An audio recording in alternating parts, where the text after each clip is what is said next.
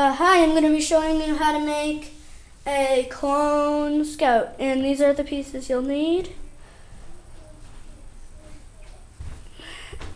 And first, you start by taking clone body with green arms, and then you take the waist, cape, and then the legs, and then you put them together. And there, that's how it should look. Oh, and the waist cape can be gray or black. And then you take the uh, backpack thing and put it on. And then you need this green um,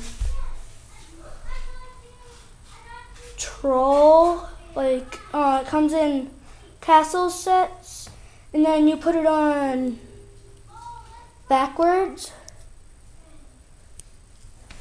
And then you need the uh, helmet. It comes in the old turbo tank or the battle of Endor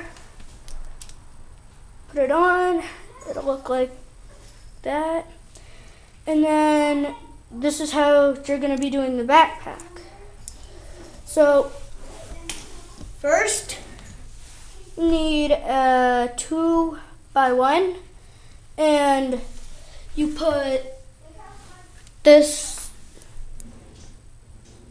little thing, I don't know what you call that on, and then take one of these and put it right there.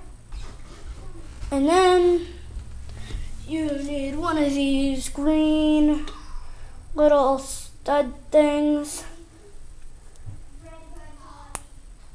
And then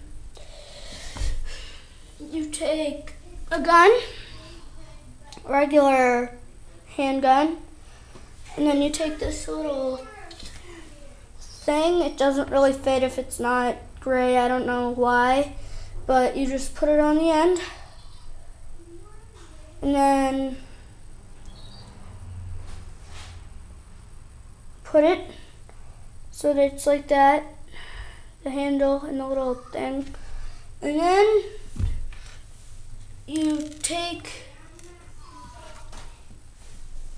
this um, binoculars and this little pistol. Uh, you there's a um, if you really want to make this, there's a little thing at the end of it.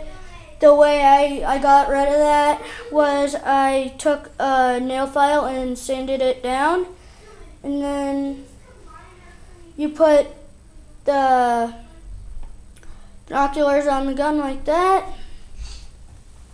And then you need a right hand. It'll look like that. And then put it on the gun.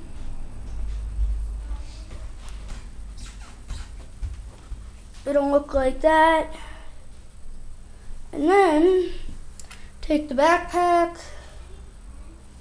and put it on like that.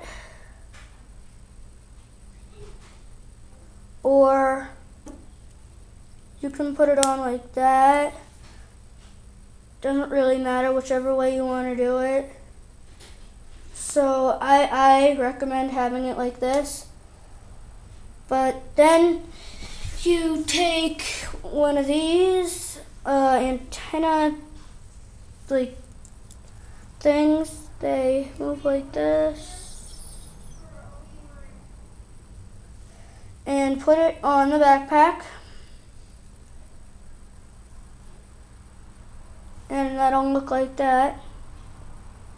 And then you take the trooper and put it on the trooper's back.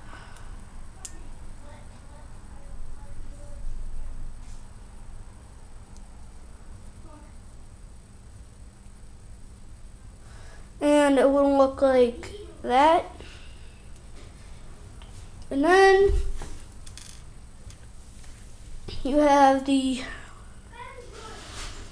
little mini DC-17 blaster and the binoculars. You put them in the trooper's hand. And then you're done. Bye.